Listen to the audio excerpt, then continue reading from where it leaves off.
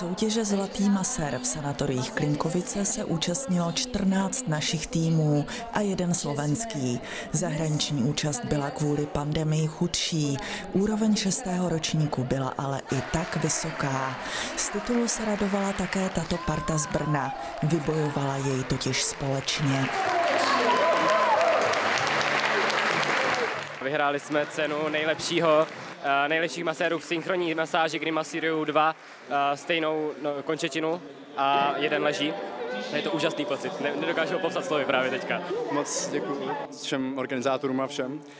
A kluci masírovali úplně skvěle, já jsem to užil, takže výborný. Je to úžasný pocit, protože všichni tři uh, jsme tím naprosto naplněni tím, co studujeme a hrozně nás tenhle obor baví, takže jsme neskutečně rádi. V kategorii sportovní masáž zvítězila Tereza Volná z vyšší odborné školy Dakol.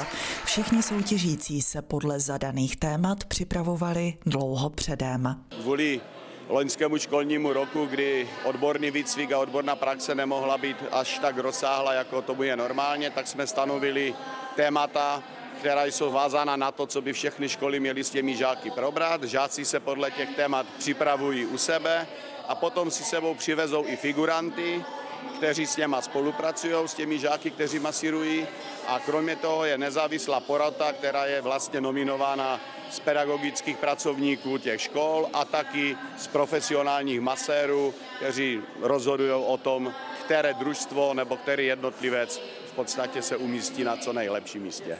Porodci hodnotili zejména správnost postupu, sled a směr hmatů a volbu masážního prostředku, ale také přístup ke klientovi a celkový dojem. Partnerem této akce je také Moravskosleský kraj. Vždycky je dobré, když žáci různých škol můžou porovnat své dovednosti, proto je spousta soutěží i v řemeslných oborech, i v těch jiných oborech a tato soutěž k tomu určitě patří, protože bez té soutěživosti eh, na těch středních školách by ta výuka nebyla tak zajímavá.